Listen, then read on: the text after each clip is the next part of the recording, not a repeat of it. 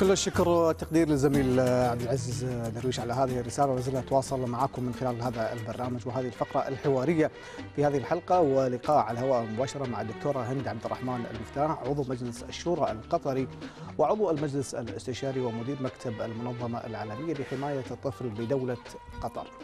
حياك الله دكتورة يعني نرحب فيك معنا في بلدك الثاني الكويت والحديث إن شاء الله راح يكون حول مشاركتك في المؤتمر الأول الذي تقيمه المنظمة العالمية لحماية الطفل بعنوان الطفولة بين الحق أيضا في التعليم وسبل الحماية التربوية والمزيد من المواضيع الخاصة في هذا الموضوع أو المحور اللي هو الطفل ولكن بعد هذا التقرير خلينا نشوفه ونرجع.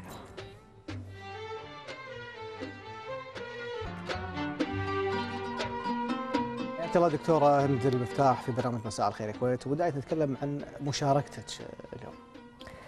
السلام عليكم اولا مساكم الله بالخير.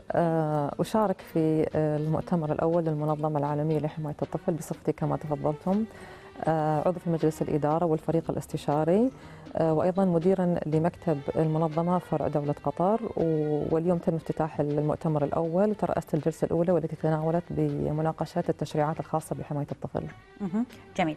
طيب الدكتوره يعني شنو اللي يضمن التعليم كحق للجميع حق من حقوقه. التعليم بلا شك يعتبر من أهم الحقوق الأساسية التي يجب أن يتحلى بها كل إنسان في العالم فهو يضمن له الحياة الكريمة. ولهذا يمكن القانون الدولي لحقوق الإنسان الصادر عام 1948 أشار إلى الحق بالتعليم وهو أساس تطور المجتمعات بكافة مجالاتها. وربما سبق ذلك القرآن الكريم سبق الأمم المتحدة ب 1400 سنة عندما قال بقوله تعالى اقرأ باسم ربك الذي خلق خلق الإنسان من علق. فالتعليم في الإسلام لم يعتبره امتياز أو مكرمة بشرية بل حقا لتمكينه في الأرض. نعم. دكتورة هند ذكرت طبعا مشاركتك اليوم ترأس الجلسة الأولى الخاصة بالتشريعات الخاصة بحماية الطفل. نرجع على هذه الجلسة. تناولت اليوم الجلسة سرد تاريخي لجميع التشريعات والقوانين والمواثيق الدولية التي صدرت في حق حماية الطفل وصيانته ورعايته وتنميته وعرجنا على التجربة الكويتية في تقييم للإطار القانوني للحماية للحماية الجزائية للطفل وأيضا تجربة اللجنة الوطنية أو المكتب الفني إن صح لي التعبير بتسميته لحماية الطفل التابع أعتقد لبعض الجهات ذات الجهات ذات الصلة. وأيضا عرضنا إلى تجربة الجزائر في تكريس حق الطفل في ممارسة الرياضة. طيب أنا برجع حق اللي هو حق التعليم. ليش يعتبر هذا الحق حق أساسي؟ هو شوفي التعليم يعتبر حق من الحقوق الأساسية لأي إنسان للعيش بحياة كريمة فهو أساس تطور وتنمو نمو الإنسان فكريا وبالتالي نمو المجتمع الذي ينتمي إليه. ولو استعرضنا تجارب الدول إن صح لي تسميتها بالمتقدمة أو حتى الدول التي خرجت من أزمات اقتصادية وسياسية لوجدنا أن الاستثمار في رأس المال البشري عن طريق التعليم تحديدا هو المحور الأساسي أو العنصر الفعال الأساسي في تنمية هذه الشعوب. فالتعليم ليس فقط لإصدار تقارير التنمية البشرية ولكن لتنمية المجتمعات اقتصاديا واجتماعيا وسياسيا ولنشر قيم التسامح والإسلام حتى للتقلب على الأزمات السياسية والأحزاب الطائفية وغير ذلك من الصراعات البشرية. نعم دكتور أنت تطرقتي لموضوع مهم جدا وهو عملية الاستثمار في العنصر البشري فعلا الاستثمار في العنصر البشري يقودك إلى النجاحات في شتى المجالات سواء كانت ثقافية اجتماعية علمية واقتصادية. أنا ودي أتطرق إلى موضوع المشاركة وأهمية المشاركة في مثل هذه المؤتمرات التي تقام بين فترة وفترة أخرى وهذا المؤتمر الأول الذي يقام في الكويت خاص بحماية الطفل. إن كنت تتحدث عن المؤتمر أو المشاركة بمعنى أصح وأشمل المشاركة فيما يتعلق بحماية حقوق الطفل فهي موجودة موجودة منذ سنوات. يعني منذ سنوات أقيمت العديد من المؤتمرات وشرعت الكثير من القوانين وأنشأت العديد من المؤسسات بالذات من مؤسسات المجتمع المدني أو المؤسسات الأهلية. وهذه المشاركات تعزز أول شيء المعرفة المتبادلة بين جميع الأطراف لأن نحتاج في مجتمعنا مجتمعاتنا توطين هذه المعارف وتوطين الخبرات. لكن من الصعب جدا استيراد بعض المعارف والخبرات كما هي من الدول الغربية وتطبيقها في دولنا. فهذه المشاركات تفيد كثير في توطين المعارف وتبادل الخبرات وتقنينها وبحث أفضلية ممارساتها في مجتمعاتنا العربية ذات الخصوصية الخاصة طيب بالنسبة حق الدول شنو هي التزامات الدول في احترام الحق في التعليم؟ اولا المشاركة في توقيع الاتفاقيات الدولية التي تنص على هذه الأمور، آه ثاني شيء إصدار تشاريع خاصة داخل كل دولة لتتناسب مع آه توطين هذه ال ال الاتفاقيات. ثالثا وهو الأهم عدم الاكتفاء بتوقيع الاتفاقيات ولكن تحويل هذه الاتفاقيات إلى أفعال وخطط تشغيلية وخطط استراتيجية وإنجازات ومؤشرات فعلا يمكن قياسها. نعم. دكتورة في حديثك أيضا ذكرت أن الاختلافات التجربة الغربية وتمكينها أو توطينها في تجربتنا هناك يعني معايير مختلفة ومختلفة، يعني شلون نوطنها في النواحي الإيجابية أنا ببحث بعد عن أي ناحية سلبية نخليها تجارب يعني مميزة وإيجابية بشكل عام. خلينا نتكلم بصراحة لا يمكن أن ننكر بأن أفضل الممارسات التعليمية موجودة في الدول الغربية. ولكن هذه الممارسات وضعت في هذه الدول لتتناسب مع طبيعة هذه الدول من حيث خصوصية المجتمعات العربية نوعا ما تختلف من حيث الثقافة والعادات والتقاليد والدين إلى آخره. توطينها يعني بمعنى إعادة تطوير هذه الممارسات أو المناهج أو أيا كانت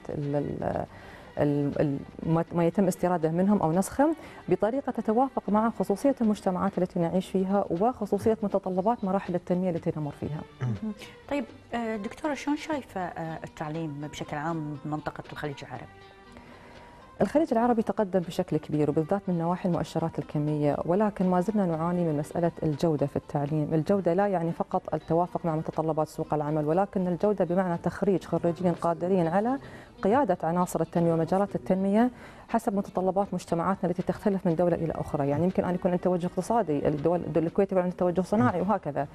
فهذه يعني الجودة ما زالت شوية مثار جدل. ولكن المطمن في الموضوع أن جودة التعليم هي قضية جدلية وقضية عالمية لا تتعلق بمنطقتنا الخليجية تتعلق بجميع الدول. يمكن في بعض الدول الإسكندنافية مثل فنلندا ويعني تقدمت نوعا ما تميزت فيها لكن يعني مرة أخرى كما يقال لأن التعليم تم تطويره في هذه الدول بما يتناسب مع طبيعتها وخططها الاستراتيجية. القصور يكمن في شنو دكتورة؟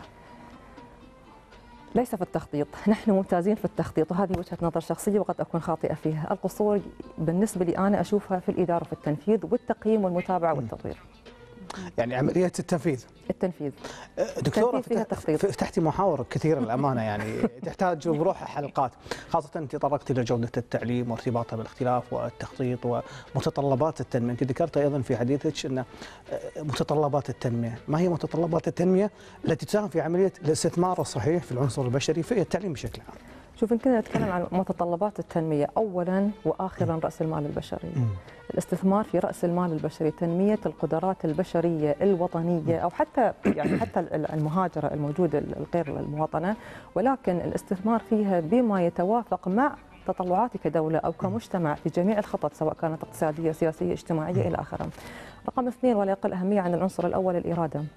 الإرادة. الإرادة المرتبطة بالإدارة الجيدة والحوكمة الرشيدة. قد تجد الإرادة ولكن لا تجد الإدارة ولكن قد وهو العكس صحيح. لهذا الإدارة الإرادة يجب أن ترتبط بالإدارة والحوكمة الرشيدة. يعني بصراحة جميل جدا إنك تكونين معنا هني دكتورة. استفدنا من حديثك وحوارك بس أنا ودي أعرف يعني كيف ممكن تكون تجربة التعليم في دولنا تجربة ناجحة لا ينقصها شيء؟ إذا توفرت الإرادة في الإدارة؟ والإدارة والحوكمة الرشيدة والتفكير وجد التعليم الجيد. نعم. دكتورة المخرج يبلغني عندي دقيقتين تقريبا رسالة تحبين توجهينها من منبر هذا البرنامج. رسالة لمين بشكل عام مفتوحة. يعني؟ بشكل عام. آه عن التعليم يعني في مجال التعليم؟ لا هي مفتوحة مو شرط التعليم. انت رسالة ثقافية علمية أدبية يعني هي تعتبر في كلمة أخيرة. خيار يمكن أنتهز هذه الفرصة وأوجه رسالة للبشر لأن إحنا جميعا وبالذات إحنا في البشر في المنطقة الخليجية آن الأوان أن إحنا نتكاتف آن الأوان أن إحنا نتخلى عن مفهوم دولنا كدول ريعية والاعتماد عليها بشكل تام. يجب أن نقف يدا بيد مع حكوماتنا ومع دولنا في بناء أوطاننا وحمايتها وصيانتها من كل المتغيرات الخارجية. كل الشكر لك. وطبعا أكيد بهذه الرسالة نختم هذا اللقاء. دكتورة يعطيك ألف عافية. اذا مشاهدينا فاصل ونرجع خليكم معنا.